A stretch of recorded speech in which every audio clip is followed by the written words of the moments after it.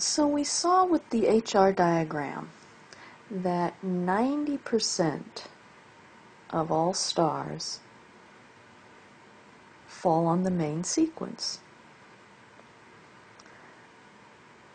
And so we call them main sequence stars. But what is a main sequence star? Why are these stars grouped together? Well, the defining characteristic of a main sequence star is that it generates energy through hydrogen fusion.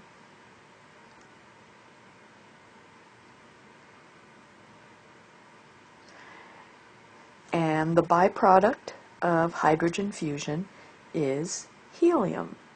So recall H is the chemical symbol for hydrogen and He is the chemical symbol for helium. So what we've got happening inside of uh, a main sequence star is protons colliding together, sticking together, and turning into a helium nucleus because the nucleus of hydrogen is just a single proton. So they're generating energy through hydrogen fusion. That's what our sun is doing. And so now we know that's what 90% of all stars do. They generate their energy through hydrogen fusion. So we think of this as kind of the you know, normal stage in the life of a star.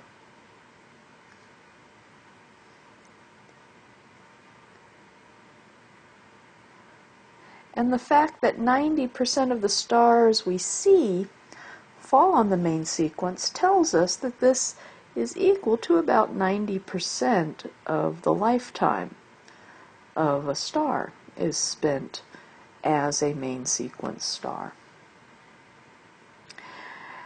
And the key underlying uh, idea of main sequence stars is this connection between mass and temperature. We keep going back to this over and over again.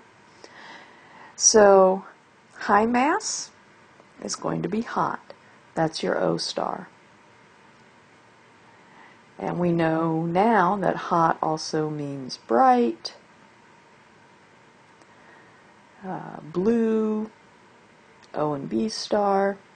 And we'll also discover these have a very short life. Uh, they use their fuel very, very fast.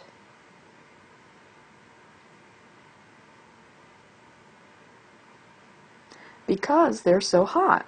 Yeah.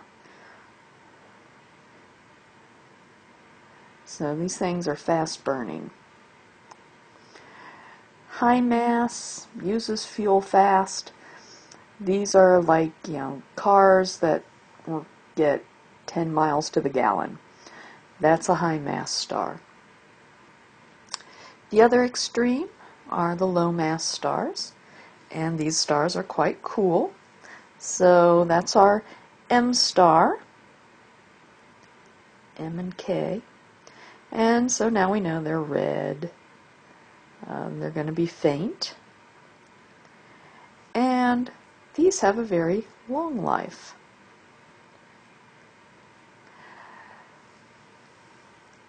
Again, it has to do with the temperature. Uh, cool means burning the fuel slowly. So the low mass stars are the energy efficient cars. Uh, what does a short life mean or what does a long life mean? O stars, they live for about a million years. M stars live for uh, about a hundred billion years. Our universe has not existed long enough for an M star to die. So, very, very large extremes as far as lifetimes of stars. And all of it comes back to the mass. The mass determines all of these characteristics of our main sequence stars.